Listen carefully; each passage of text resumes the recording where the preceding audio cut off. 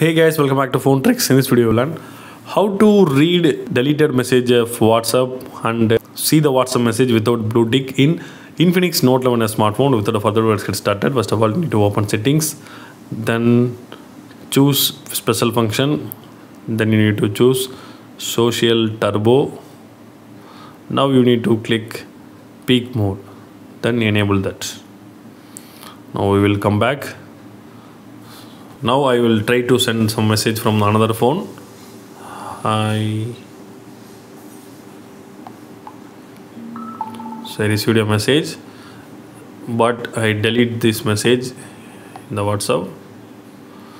So when I try to view the message the message was deleted.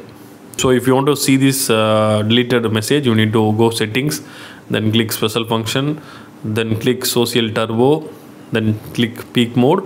Now you see the message. So deleted deleted message is available here. So if you want to see the message without uh, blue tick so I, I will send the message from the another phone. You can see the message is received and you can see that but no blue tick happened